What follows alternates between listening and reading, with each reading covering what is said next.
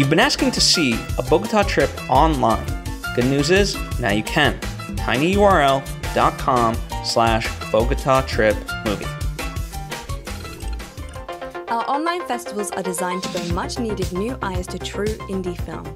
They are a tried and tested method of providing a platform of diverse work to a large audience. The voting process is specifically created to engage people with the collection.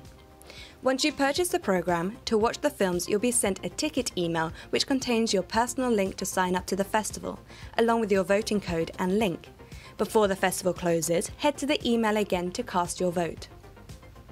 Entering the code in the email will give you access to the form, which will then ask you to select your two favourite films and provide some feedback on the projects.